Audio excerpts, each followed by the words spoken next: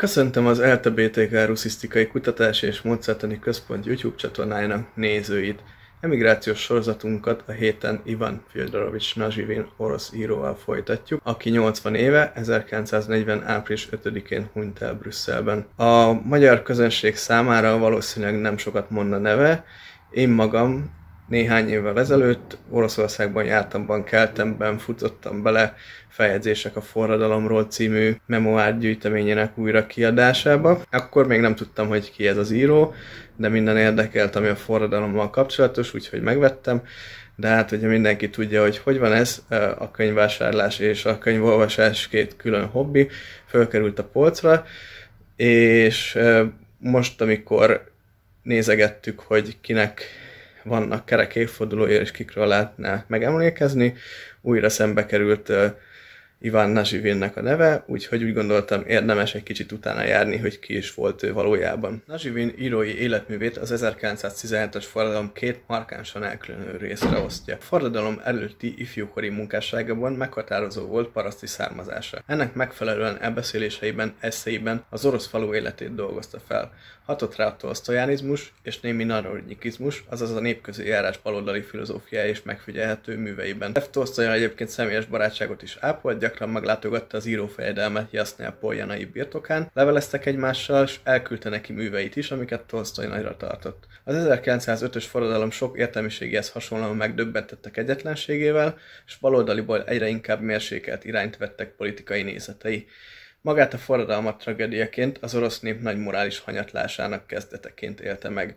Az ekkori élményeiből született első nagyregénye, a Mene Menetekel Ufarsim, amely egy orosz értelmiség életéről szól, aki megjárta Nyugat-Európát, csalódott a fejlődés ideájaiban, a társadalmi harcban, és az igazságot végül a patriarchális parasztság szektariánus vallásos nézeteiben találja meg, amiben nem nehéz felfedezni az önéletrajzi elemeket. Az 1910-es forradalom után a fehérek oldalára állt, Gyenyikiny önkéntes hadseregének agitprop részegén dolgozott, többek között Ivan Bunyinnal együtt. 1920-ban először Bulgáriába evakuálták családjával együtt, majd a jugoszláviai újvidéket, Ausztriát és Németországot bejárva végül 1924-ben Belgiumban, Brüsszelben állapodott meg. Nazsivin emigrációban megjelent első könyve a már említett saját emlékirajta tartalmazó feljegyzések a forradalomról volt. Az 1920-as években számos művet írt az emigránsok körében közkedvelt, részben dokumentarista, részben kitalált történeteken alapuló menekültregény műfajában. Ezek stílusa azonban nem mindig nyerte el az emigránsok tetszését, ugyanis a forradalomért nem csak a bolsaikokat hibáztatta, hanem a régi rendszer híveit is, akik nem ismerték fel időben a veszélyt. Egyre inkább kiábrándult a fehér emigráció monarchista ágából és a nyugati segítségbe vetett hitből, és többször puhatolózott a szovjet hatóságoknál lehetséges hazatérését illetően. A jelenből való kiábrándulása is vezethette a történelmi regények felé. Első nagy lélegzetvételű háromkötetes munkája Rasputin volt, amit számos európai nyelvre lefordítottak, és Thomas Mann, Selma Lagerlöf és a Dan Georg Brandes is pozitívan nyilatkozott róla. Ezzel Nazsivin volt az első, aki a különböző újságcikkek után hitelesen és részletesen megismertette és megdöbbentette a világot Rasputin történetével, és ezzel nemzetközi hírnévre tett szert. A következő évek produktívan teltek Nazsivin számára ebben a műfajban. Oroszország és a kereszténység történetének széles skáláján mozogtak történelmi regényei. Többnyire a szímadásaiból is látszik, hogy sosem egy adott személy, hanem a korszak szellemisége érdekelte, így jelentős háttértelmányokat folytatott a részletek kidolgozása véget. Nazsivin a jelenből való menekülés másik útvonalával is próbálkozott, a jövőbeli utópiák és a fantasztikum felé. Ennek egyik korai példája a próbatétel sivatagban című elbeszélése, amely egy kommunista antiutópia. A történet szerint a londoni börtönből kommunistákat raknak le egy lakatlan szigetre, hogy valósítsák meg az igazságos társadalmat, azonban ebből semmi sem lesz. Másik kiemelkedő műve ebből a műfajból a kutya köztársaság, amely a forradalmat különböző osztályokba tartozó gazdák kutyáin keresztül mutatta be. Sajnos közvetlen utalást nem találtam rá, de a tartalom alapján nagyon valószínű, hogy ez a könyv először nem oroszul, hanem angolul jelent meg, The Dogs címen, amiről a New Yorki székhelyű The Bookman-ben is